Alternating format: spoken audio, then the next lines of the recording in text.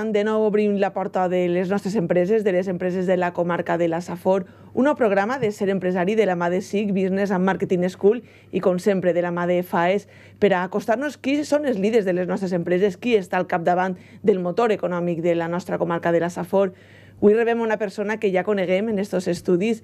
Eh, la coneguem per la seva presidència al capdavant de FAES, però avui ve representant de la seva empresa, també Juan Pablo Turceo de Turmetal. Benvingut. Moltes gràcies, Rocío. Mm, anem a conèixer la faceta de Juan Pablo Tur des de la part més empresarial, des de la seva trajectòria. Jo sempre dic al principi que, que es presenten els empresaris que passen per ací, Saben que Juan Pablo Tur és president de FAES, però a banda d'això, qui és Juan Pablo Tur? Qui és? Bueno, avui en dia, a fecha d'avui, a data d'avui, eh, jo me definís com una, com una persona molt, molt inquieta. Molt inquieta, que li agrada molt, eh, molt preguntar, i en quant a, a l'empresa, aprenent eh, tots els dies. La formació és més que important, és sí que ho demostro, i um, creixement personal. Jo crec que gestionar una empresa simplement és uh, créixer personalment i, i portar, portar equips. A mi lo d'empresari mai m'ha agradat. És, un, no sé, és una paraula que, que encara té un estigma de, de corbata, traje i, i un ordenament vertical. Ah, jo crec que ara és tot matricial, transversal i, i hi ha que, hi ha que tirar un passet més avant. Bueno, un estigma de traje i corbata, qui el coneix ja sap que això no és el seu estil. Així és, així és. no vas a parlar dels calcetins? Ai, home, els calcetins són molt importants. El que ara en estiu no n'importa, ara és el... Bueno, bromes a banda, què li ha portat a Juan Pablo Tur, eh, Turmetal? Perquè Juan Pablo Tur, si no fora per eixa empresari, no li agrada, però si no fora per eixa faceta no seria president de FAES i no estaria representant en València a la FEB. Sí, jo crec que això és uh, molt important. El món de l'empresa mm, en la meva família ha estat inculcat des de, des de ben, ben, ben, ben menut. Uh, els meus pares començaren l'empresa perquè eh, mon pare estava al capdavant però ma, la meva mare estava, estava uh, suportant a mon pare i portava abans tot el tema de, d'administració i gestionava molt bé a, a les persones. Clar, érem tres, quatre treballadors, comptant amb mon pare i amb ma mare. I um, què li aporta? Jo crec que és algo que, que es porta dins i, dins i fora. Val? O sigui, això de, de l'empresa és algo que avui pots estar i d'ací 50 anys, 60 anys exactament igual. Jo crec que un jove empresari és una persona que, que comença a, a emprendre en el moment que comença a emprendre és un jove empresari. L'edat al final, pues sí, és una, és una realitat, però en quant a l'experiència del punt zero, tots partim per ahí, tots partim per ahí. Mm, ho acaba de nomenar eh, una empresa que va fundar son pare i sa mare. Vostè forma part d'aquesta segona generació. En l'empresa compta amb la col·laboració de la seva germana també i de la seva dona, que és la directora financera. Com és aquest procés, aquest traspàs fins a arribar ahí a estar al capdavant de l'empresa? Eh, és complicat, és complicat perquè quan eh, hi ha una estructura d'empresa en la qual eh, pues, mon pare era la, la persona que, de la qual tenia tota la responsabilitat de tots els, uh, els departaments, era un altre, era un altre temps, perquè abans, abans les empreses tenien que estructurar-se d'aquesta manera. Les empreses uh, petites, el que són multinacionals i demés, això és una altra, una altra història, però que, que el valor que aporta podríem estar parlant en, en un altre programa. Eh, era, era diferent. Jo crec que aquesta estructura vertical era, era molt diferent. Eh, lo que necessites és un equip. Un equip nou, sí que és cert que jo quan entré en, en l'empresa l'equip està creat. Entonces el que tenia que integrar-se era jo. Integrar-se quan eres el, tens l'etiqueta del fill de l'amo és molt, és molt complicat. Però poquet a poquet vaig anar fent, eh, fent el, el meu equip i el punt d'inflexió més gran ha sigut quan... No és la meva dona, realment és la directora financera. Jo necessitava un, un suport molt gran en tot el tema financer, perquè jo tinc un... Bueno, ara ja cada vegada menys, però tenia un gap molt gran en tot el que és uh, finances, estratègia financera, tesoreria i demés, perquè hi ha que separar molt bé tot el que és el tema de comptabilitat del tema financer. El tema financer és el, el punt eh, més important de l'empresa perquè ja pots contratar, ja pots eh, fer feina, però si no eixen els números i després no la cobres i després l'estratègia d'inversió no funciona, pues l'empresa té, té un mal camí, té un mal recorregut. I ahir va ser eh, quan eh, necessitava la persona. Jo em vaig fer un, eh, un currículum o unes característiques, aptituds i actituds que tenia que tenir la, la persona. I me'n recordo un dia per la nit em vaig adonar i dic, ei, dic, però si, si la tinc al costat, la tinc al costat, estava el dubte molt gran d'agafar i dir, bueno, eh, al final eh, tot el dia junts i, i la feina i tal, però que va, ella està en un departament, jo estic en l'altre, mm, fem reportings una vegada a la setmana i sí que és cert que com encara no tenim, no tenim eh, xiques, però bueno, en eh, novembre vindrà Això Lola. arribarà pronto. Eh, ahí sí que tiene que desvincular un poquet, no? Però, no sé, pues fin de setmana i per la nit quan arribes pues comentes quatre cosetes i ja està. Però jo crec que ahí va ser el punt d'inflexió més gran de l'empresa i se nota moltíssim, vamos, i sobretot sent una dona aporta mogolló de valor. No per el tema de la paritat, jo, vamos, el tema de la paritat no crec que en res, sinó el tema de les persones i les aptituds que tens, actituds, jo crec que és ahí com, si ojalà fórem tot dones, vull dir, és, és algo que aporta al, a l'equip sí que aporta una,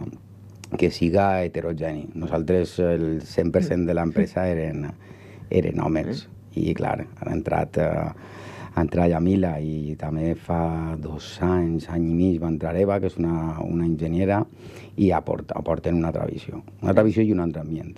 Mm però costa separar en casa lo que és la empresa a lo que és la vida en parella. Costa separar, però perquè al fin jo sí que sé que tinc un poc de d'obsessió, no diré obsessió, no? però no sé, no sé estar eh, sense no fer res, sinó sense mirar el correu, sense veure pues, algun pressupost. Ja que no desconnecta. Jo no desconnecte, però perquè és impossible desconnectar, però ja no perquè l'empresa... bueno, de fet, l'empresa no és meva, l'empresa és dels meus pares, jo estic en... jo sóc assalariat, però ninguna persona que està en, en direcció pot desconnectar, és impossible. Però, de fet, els enginyers pf, tampoc desconnecten, perquè els problemes els emportes a casa. O sigui, això qui diu que jo is per la porta de l'empresa i, i ja m'oblide de tot, depèn del lloc de treball que tingues, per supost, però quan tens responsabilitats, les responsabilitats t'agafen i els problemes van darrere tu sempre. És impossible dir, mm, tanque la porta, és cap sí, de setmana, sí. no. Això Nosaltres el que sí que fem és, eh, quan estem per la nit, perquè és que només ens vegem per la nit, el tema familiar i, i de vida familiar i de, i de treball, eh, en Yamila només ens veiem per la nit. O sigui, és, eh, per, el, per el dia ens vegem menys quan, quan entra a dir-me que em queden moltes coses per fer, que també és, és la veu de, de l'organització, superimportant per a mi. I quan veiem que per la nit estem eh, dedicant-li massa temps, pues, eh, igual jo no em dono compte, o ja sí, però si no al revés, i diem, hasta sí. Stop. Parem i, i demà serà un altre dia. Vostè tenia clar, no tenia clar quan estudiava que anava a acabar en l'empresa familiar, de fet va obrir camí en altres llocs, com va ser aquest pas de dir... Era un punt de rebel·lia dedicar-se a altra cosa quan estava a l'empresa familiar? Jo crec que em va aportar moltíssim. El tema d'emprendre és algo que, que ho tinc des de, des de ben menut. De fet, la primera empresa que vaig, que vaig fundar va ser una empresa de, de joguers de, de segon mà, jo que tenia 10 anys, 11 anys, i, i la van tindre que tancar per la gestió de tesoreria. jo crec que va ser molt curiós. Per això ara ha no? buscat una bona directora sí, claro, financera. Això, eh, recorde molt jo això, no? I és algo que, que des de, des de l'inici, pues, clar, com ho veus, en la, ho veus a casa, i, i és... Um, no sé, sobretot és que t'aporta, t'aporta moltíssim, t'aporta moltíssim i um, creixes com a persona creix com a persona i sobretot coneixes a molta gent. Jo crec que la vida és conèixer persones i gràcies a estar en un entorn que sempre tens uh, diferents, uh, diferents necessitats i, i oportunitats per conèixer a gent, jo crec que això és el que, lo que més destacaria. El tema de, de treballar en l'empresa familiar, eh, quan jo estudié primer arquitectura tècnica i després arquitectura, clar, quan fas aquestes carreres eh, a l'empresa pots treballar perquè està relacionat amb la construcció, però no és el fi, no és el fi d'aquestes carreres. tècniques i de desenvolupament al final de, de disseny com és, com és arquitectura. Montem un despatx d'arquitectura en el, meu soci Ramon, que em va acompanyar des de, des de l'etapa, de fet, d'Escolàpies, en institut no, però després en arquitectura tècnica, arquitectura sí, i en Borja un enginyer industrial que va ser el que ens va donar una, una capacitat diferent a l'arquitectura perquè ens muntàrem en l'època perfecta, ens muntàrem en 2009. O sigui, va ser el, una època molt, molt complicada. Clar, jo vaig vindre a València, estava treballant en València i quan vam agafar i vam muntar el despatx, jo em vaig dedicar al 100% al despatx, perquè a l'inici ja havia que fer-lo. Després, clar, els ingressos eren els que eren, entonces, clar, jo estava tirant d'ahorros i era, era impossible, jo que vivia a casa dels meus pares. Era, era molt complicat. Vaig, vaig agafar i vaig fer mitja jornada i mitja jornada. Al final, al cap d'un any i mig, o feia una cosa o feia l'altra, perquè no estava fent ni una cosa bé ni l'altra bé. Dedicar-se al 100% a una em vaig dedicar al 100% a l'empresa perquè no se pot. No se pot i sobretot quan no tens un, un equip. Ara és tot el contrari. Jo la gent em diu, ostres, com pots estar dedicant-li tant, tant de temps a FAES? A part que FAES m'aporta molt, moltíssim com a, com a persona en el tema empresarial. Això és algo super important, que és l'intangible no? que, que reps ara sí que puc dedicar-li pues, més temps a alguna cosa que està diferent, no és el dia a dia de l'empresa, perquè tens una estructura d'empresa de, que estava creada a Xina. Abans no era, abans era, no, no podia ser. I ahir va ser quan em vaig dedicar al, al tema de l'empresa. Vam fundar després una, una empresa d'administració de finques per a tindre uns ingressos recurrents en el despatx i farà dos anys, després de la pandèmia, va ser quan ja vaig vendre la meva participació, perquè ja no estava implicat, sí que n'hi havia projectes que, que estaven creuats, però ja no li aportava un, un valor gran a l'empresa i a part també necessitàvem uns diners per, a, per al tema financer, que ara m'agrada molt el tema financer, sí. d'inversió i de més, i, i ahir va ser quan, quan, se va, quan se va parar. Si ha arribat el moment eixe en què vostè, igual que va dedicar 50-50 a cada empresa, es va decidir per Turmetal, haver assegut al revés i li haver dit a son pare i a sa mare pues no vull anar a l'empresa. Si no hi havia relleu, com creu que se ho haver emprès? Jo crec que no, no hi haurà hagut problema. Mon pare ho haurà portat més mal, perquè era diferent, i, però ma mare és una persona que, que té una visió super, super avançada super avançada. No n'hi no, no haguera hagut problema perquè ho van parlar, això en casa ho van parlar. Al final s'haurà ficat un, un gerent al capdavant de l'empresa i, i haver funcionat igual perfectament. De fet, jo quan entré a l'empresa i estic departament tècnic, després departament financer, que va ser en el financer quan vaig formar molt, Eh, quan estic de director adjunt, clar, jo entré director adjunt i, i vamos, qualsevol persona que haurà entrat en quant a gestió ho haurà fet molt millor que jo. Perquè, clar, eh, l'empresa, quan tens errors, el problema de les empreses, conforme són més grans, els errors que tens són més grans. Entonces, claro, al final pues, eh, també és relatiu, perquè una persona, un autònom, pues, fer un error de 2.000 o 3.000 o 5.000 euros també és, uh, és molt. Pero claro, saber gestionar els, uh, els errors y lo que diuen, no, aprendes de los errores. Cuando, cuando te caes, te tienes que levantar, normal. Si pots, si pots alçar-te i si pots cometre, no sé, 5, 6 errors, igual només no en pots cometre un i és quan ve, quan ve tot el col·lapso. Crec que això, això ja que, que mirar-ho. Mirar, eh. mirar molt. Ara dit vostè, em vaig tindre que formar molt. Ahí, en este cas, la formació és fonamental i ESIC juga ahí un paper importantíssim així en els empresaris de la Safor, en tota la comunitat valenciana i en tota Espanya, però així l'aposta és molt gran per aquesta formació. L'aposta és molt gran i és totalment necessària. Jo estic convençut i, i puc donar, donar fe des de, des de la meva pròpia experiència que la formació comença quan acabes d'estudiar. De, L'estudi, jo les carreres les, les veig i, i, i demostrat he quedat en la meva vida eh, és un paper, a veure, és, és una, una carrera o és una, una aptitud que te dona per a poder eh, gestionar X puestos de treball. És a dir, si tens una, una carrera, pues, eh, no sé, enginyeria de camins o arquitectura, que són tècniques eh, no superiors, però tècniques de, de 5 anys, que són, uh, duren més, pues pots optar a un lloc de, de certa responsabilitat, que després no vol dir que una persona que no estudia no pugui arribar, val? però ja comences allí. Però quan comences a treballar no tens ni idea de res, però ni idea de res. Jo recordo com, com vam eixir al carrer eh, d'arquitectura, si ens arriben a, a contratar un projecte des de zero, vamos, mos haverem, mos haverem partit per la meitat. Van fer la primera reforma que van fer integral d'una vivenda d'un amic i al final te costa diners, clar que te costa diners, perquè tens que anar aprenent, tens que anar aprenent, aprenent, aprenent. Però la formació és imprescindible. Jo crec que sí que hi juga un paper eh, molt important. De fet, és curiós, perquè la meva germana començar estudiant en ESIC. En ESIC, va començar estudiant en ESIC. Eh, un, era màrqueting i relacionat amb el tema d'empresarials i va estar dos anys, i va ser molt curiós perquè va estar dos anys d'una contra això, va ser un, un punt superimportant en la família, que estava relacionat amb l'empresa, no? I estava totalment relacionat amb l'empresa.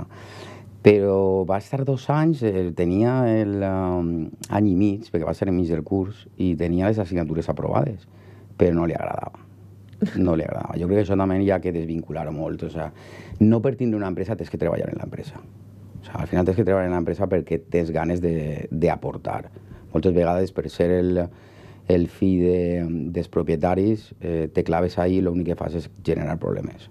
Per això n'hi ha que ser molt, molt responsable. I això passa en moltíssimes eh, empreses familiars. Per això moltes vegades es conta això de que els, els pares munten una empresa, els fills... Es, I quan arriben els altres ja es desfà. Clar, i és així perquè mm, quan se clava el, eh, el tema de, de propietat abans de la professionalitat, per davant de la professionalitat, eh, venen, venen els errors. Venen els errors perquè hi ha que saber les... Eh, les condicions eh, de cada persona. Jo crec que això, a mi lo de cada uno puede ser lo que quiera ser y no, no, no, no dejes que nadie te diga lo que no puedes hacer, pues todo lo contrario. És una sort que algú te diga el que no pots fer, sí. sempre i quan tu vegues que, que tens eixa, eixe, eixe gap en, i eixa mancança.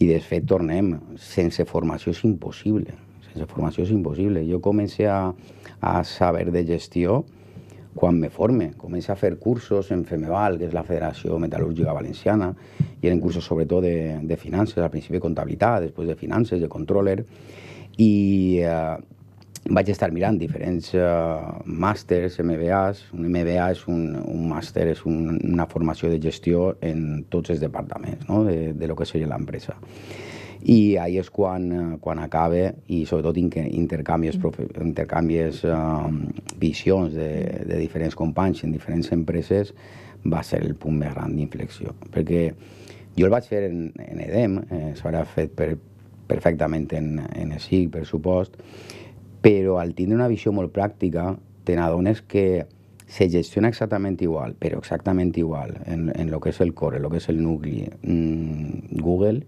bueno, que hmm. Google, Vicky Foods, per dir una, una empresa d'ací, eh, exactament igual que, que Turmetal o que, o que un autònom. Simplement és escalabilitat. Escalabilitat mm. i, i és relatiu. Si, si factures 500 milions d'euros, però Clar. tens, tens departaments per a 500 milions d'euros, però les responsabilitats de la persona són les mateixes, sí, són les mateixes el que són diferents. Són diferents, a més de firmar, ah. pues, uh, no sé, si hagués ofert transferències de 1.000 euros, pues ne fas de, de 2 milions d'euros. Sí, però al final el que es juga és el mateix, perquè una persona de, que factura tants milions mm, suposa el mateix que per l'altre el xicotet a escala. Exact, exactament, és escalabilitat i, i fer relatiu el, la, la posició de l'empresa. Clar, imagina't, eres el director comercial d'una gran empresa, d'una multinacional, i perds a un client que el, que el factura 2.000 milions d'euros. De, mm. Clar, no te pots anar a casa dient, ostres, és que 2.000 milions d'euros dona compte, això és una barbaritat.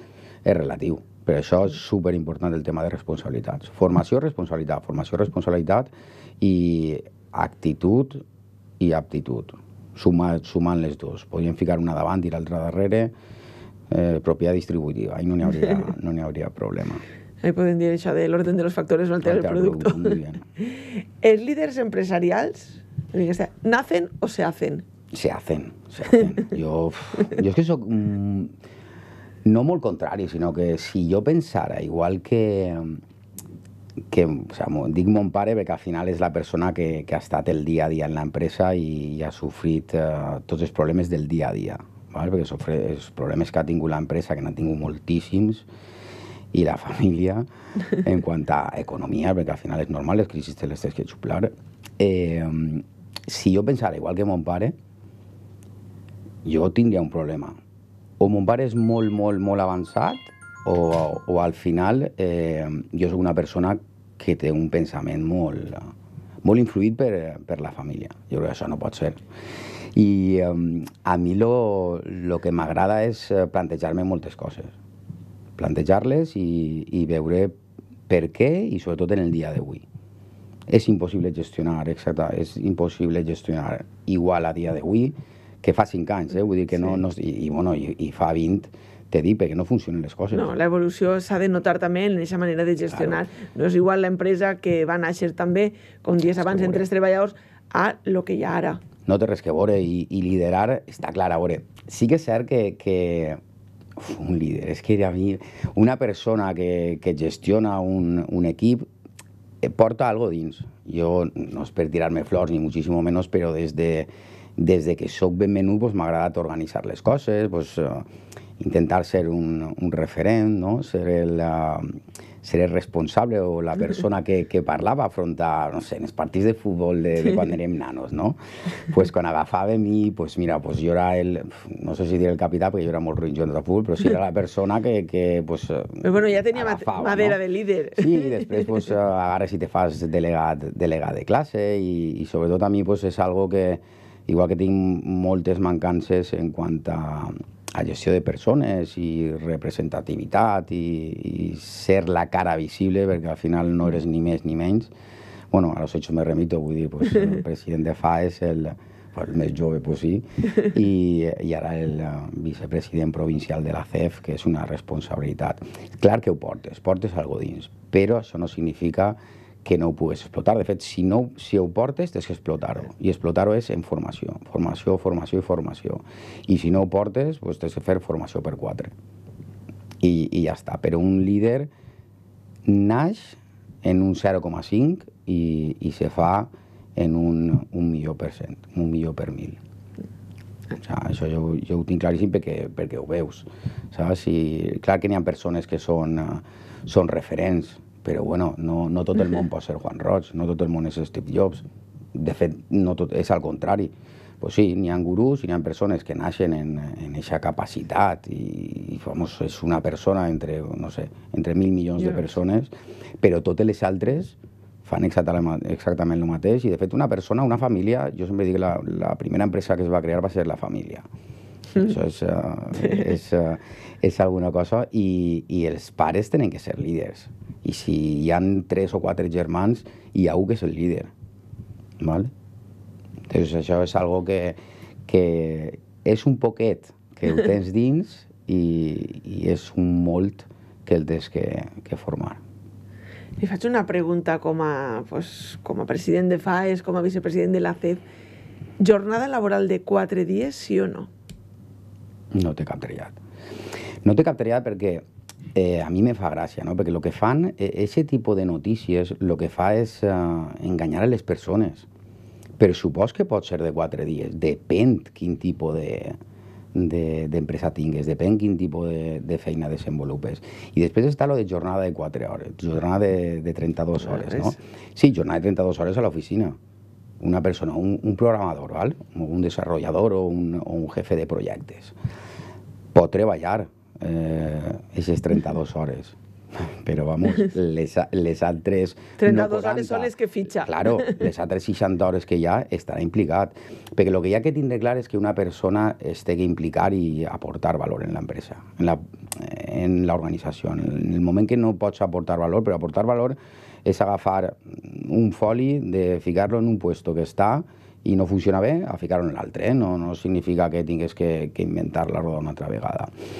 Però mm, és que no pot ser. Ojalà, ojalà poguera ser. Ojalà poguera ser. L'estructura empresarial de, país és, uh, és impossible fer-ho. Les empreses tecnològiques poden fer-ho, però només tens que, que anar fora d'Espanya. És que a mi fa molta gràcia. Sempre volem ser els, els primers en, en fer aquest tipus de, d'assajos i, i de coses que només estaria abocat al, al desastre. I sobretot a mi el que més por em fa és que és, un, és al final un estàndard i és un exemple o una línia de possibilitat que se li dona a la persona jove. O sigui, estem locos, però estem locos perquè ni, ni és que ho plantegen treballen 32 hores. Bueno, n'hi ha uns que treballaran 10 hores, però bueno, al fi i al cap és que ho plantegen això de que els polítics no treballen, sí que treballen, el que passa és que el seu treball, la, el fi que té i la, la rentabilitat i productivitat que té a la, a la societat pues, és la que és, en molts casos, en altres no, i no treballen 32 hores. O sigui, qui pot treballar 32 hores? Mira, tota la producció és impossible treballar 32 hores. I si se treballa 32 hores és perquè tens un sistema productiu totalment automatitzat. La persona pot treballar només 32 hores. Ahí tindríem un problema. O se puja el sou a el mateix sou treballant 40 hores que 32 o el disminueixen i no estem para a disminuir mm. sous. Jo crec que és algo que, que ja que tiene molt en compte en lo que se diu. En lo que se diu i traslladar-ho a les empreses, no empreses, a sectors i a les empreses eh, molt, molt, molt, molt concretes, molt concretes. Eh, les grans tecnològiques no tenen jornada laboral. No té, de fet, no tenen no ni, llocs, ni, ni llocs de feina. Val? Jo vaig estar l'altre dia en, en Marina Empreses i vaig estar visitant Zeus, que és una, una empresa que forma part de Sesami, que és una, un, un unicornio valencià, és una passada, i això no ho coneix quasi ningú, que és una vergonya. I és increïble, és un Google en menut. Un Google en menut allí, cada un fa, fa l'horari que vol, mm. l'únic que van a projecte, resultats. Total llibertat. Entonces pots, en un projecte, si li dediques, li dediques 10 hores i l'has clavat, doncs només 10 hores. Però si li tens que dedicar 100, li les tens que dedicar. Hmm. Li preguntava jo lo de, les, lo de la jornada laboral de 4 dies, perquè es parla molt d'aquest horari, entre cometes, per la conciliació. Ara que vostè va ser, va ser pare en novembre, com va portar aquesta conciliació? Uf, supercomplicada la conciliació. Jo crec que la conciliació laboral depèn molt de la teva situació familiar, moltíssim. Jo, les persones que són és mares solteres, perquè padres solters no, la veritat és que no conec a ningú, però segur que n'hi han, però bueno, pare o mare solter, uf, jo, jo són persones que admire moltíssim, que admire moltíssim, perquè és super complicat, super complicat. Eh, jo no crec que reduint la jornada laboral tingués més conciliació familiar. Jo pense que depèn de persones, per supost, depèn de llocs de treball, però hi hauria que veure eh, les empreses que poden optar per aquestes 32 hores, veure quanta gent té família. Vull dir que tenim un problema de natalitat en el món, sobretot en els països desenvolupats, i la gent que té aquests llocs de treball no està tinguent família. Vull dir que és que és molt complicat, no? però el tema de la conciliació per supost que és necessari. És necessari al mil per mil, però per a poder reduir la jornada laboral la empresa té que estar digitalitzada i optimitzada al mil per mil. Mm. Al mil per mil. Entonces, uh, necessària, o sea, sí que és necessari perquè és complicat, eh? jo encara no, no ho puc... És que no sé si serà capaç vostè d'agarrar-se la baixa per paternitat perquè té que afrontar me la, me la, la CEP, FAES claro, i Turmetal. Me la tinc que agafar eh, de manera obligatòria, no? Però sí que és cert que una persona, ara en el tema dels quatre mesos de, de somen, nosaltres ara, Juan Camarena és un jefe d'equip jove, ha tingut el, el, segon, el segon bebè. Me dia, ostres, jo que faig quatre mesos?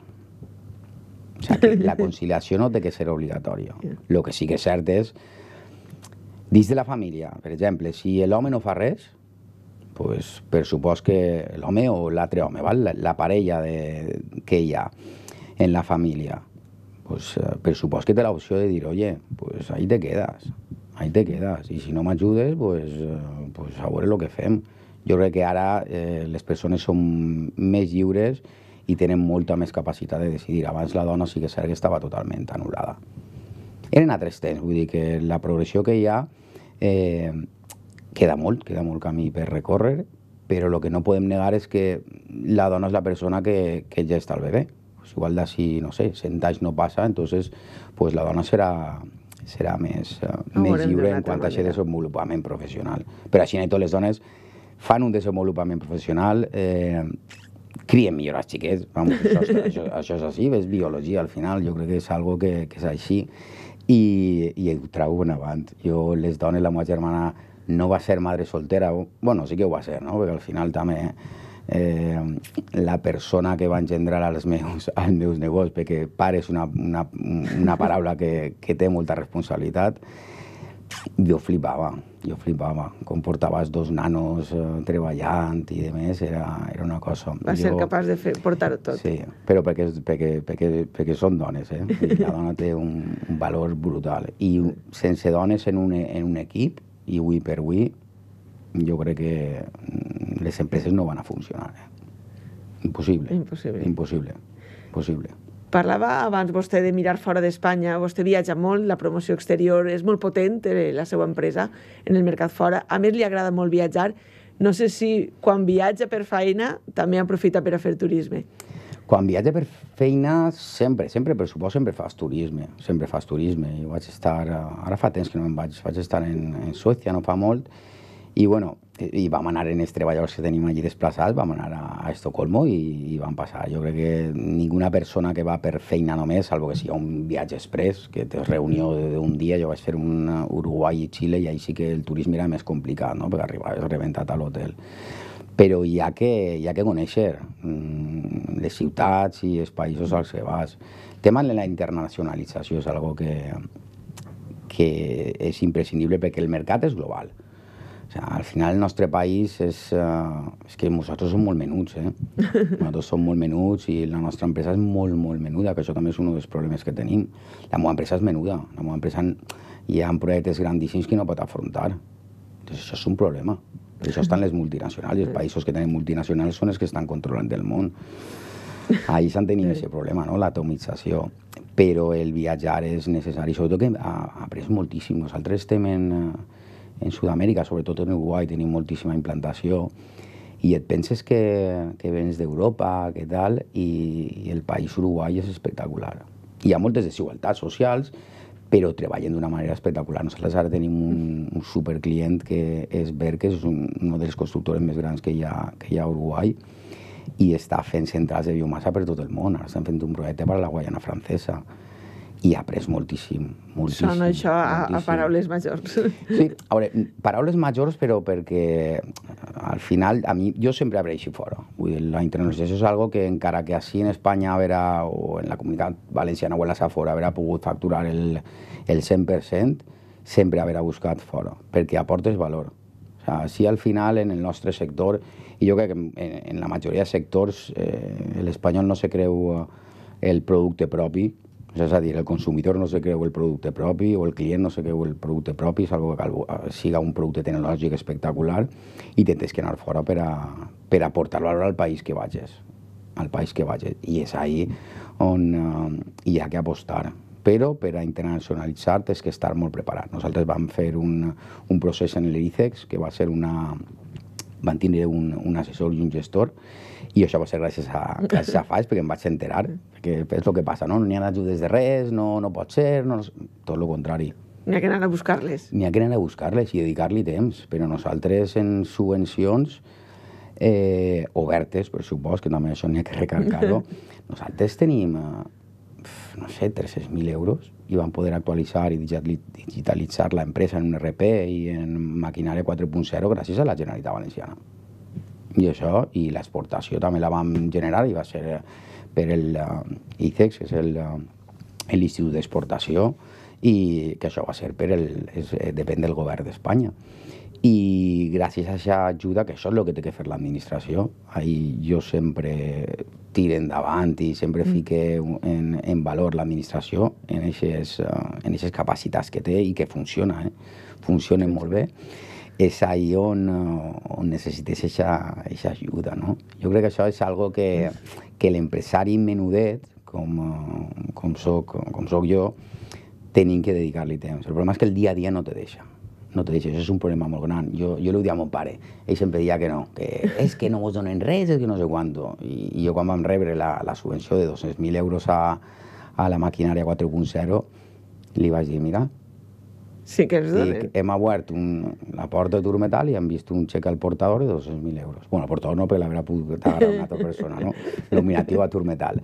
I pues no tinc que clavar jo estructura metàl·lica per tindre 200.000 euros. Eh, I damunt tenen un any, que damunt ahir va ser en la pandèmia i la Generalitat va estar superràpida i es van pagar en seguida. O sea que, gràcies a la Generalitat i, i en menys medida a l'administració la, nacional, nosaltres hem pogut sobreviure i sobretot desenvolupar-nos. Desenvolupar-nos, ser més productius, poder anar a països en principi eh, menys desenvolupats que Espanya, però també hem anat a, a països desenvolupats com és Suècia i, i hem tingut, vamos, hem treballat que, que suecos flipaven.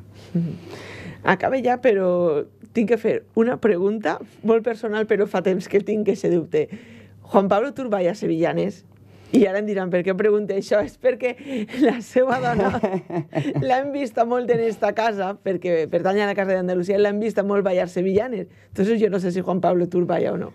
Juan Pablo Tur vaya tecno, perquè al final la sevillana és super complicada i el flamenco, però bueno, jo l'altre dia ja vaig estar en la Casa Andalusia, que se va fer en el Teatro Serrano, se va fer una, una actuació que va ser espectacular. De fet, un dels um, ballarins principals és de, és de Gandia, i és molt complicat, eh? És molt complicat. tens que tindre ja, ahí sí que tens que tindre un, un poquet de don o molt de don i dedicar-li moltíssimes hores. Jo, soc, jo, jo per aquest tipus és, uh, és molt complicat. Sin embargo, ja mira, pues, uh, ho fa molt bé. Sí, sí. Pues tindrem que demanar que es donen unes classes perquè jo no me n'ame Rocío també hauria de saber sevillanes, però bueno. Sí, sí. Pues Juan Pablo, con sempre un plaer. No sé si va a saludar a Boleta, que jo sé que estarà mirant-nos ara en la, la tele. Xiqueta, quan... La meva xiqueta, cal que sigui saludar-la. A Bonito també, que tinc una... Boni som família numerosa i a Lola quan vinga amb moltes ganes. I no parar d'emprendre. Jo si tinguera que donar un missatge, si me permets, no hi ha que parar d'emprendre. Emprendre és és millorar la teva vida, eh? no és generar una empresa, ni moltíssim menys, ni moltíssim menys. Pots emprendre, de fet, emprens més en, com a persona que, que com a empresa. Nosaltres ara estem en dos projectes, que ahí sí que no sé com, com ho faré. Estem, he creat una empresa de, de mobiliari sostenible digitalitzat, és una passada, i una altra que ja sí que és 100% d'exportació per, a, per a estructures de, de pistes de pàdel indoor. Perquè, clar, fora d'Espanya mm el pàdel està, està repuntant, però no poden jugar fora com nosaltres. Entonces estem allí per a... Començarem en Holanda, tenim un soci holandès i, i bueno, a veurem, igual va, igual va bé, va mal, eh, però bueno, hi ha, que, hi ha que invertir, hi ha que invertir. Jo crec que la, la sort que he tingut jo en la vida, a part de la formació que m'han donat els meus pares, en el tema empresarial és que jo tinc la sort de poder-me equivocar. Això és el, jo crec que és la diferència molt gran entre Juan Pablo Tur i, i, una altra, i una altra persona que està emprenent. Tindre la sort de poder-te equivocar eh, te dona molta més possibilitat d'avançar, d'avançar i pivotar. Això és mm. superimportant. Pues molta sort en el que queda i no deixe d'emprendre, de, que estic segura que, que així ho farà tant en la seva vida empresarial com en la seva vida personal i familiar. Enhorabona per aquesta futura paternitat. Moltes I gràcies, que, I que tot vagi molt bé. Moltes gràcies.